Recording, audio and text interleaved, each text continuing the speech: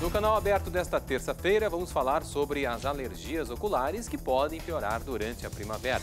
Além disso, vamos ter as informações da 38ª edição da Expo Inter, direto do Parque Assis Brasil, em Esteio.